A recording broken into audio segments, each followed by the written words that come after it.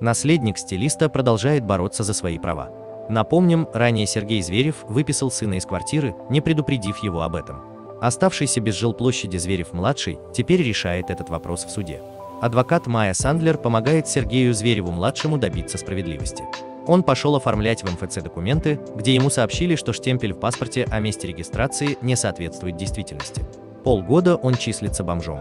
Поражает то, как это было сделано. Человек даже не поставил сына в известность.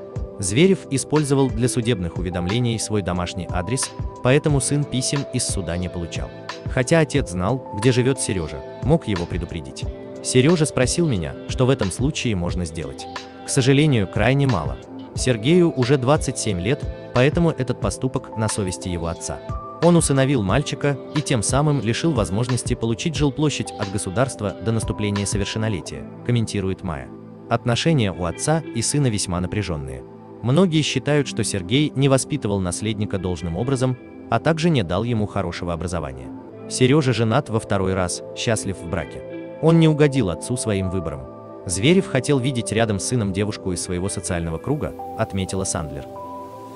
Сергей работает системным администратором. Они с женой Юлей снимают однокомнатную квартиру.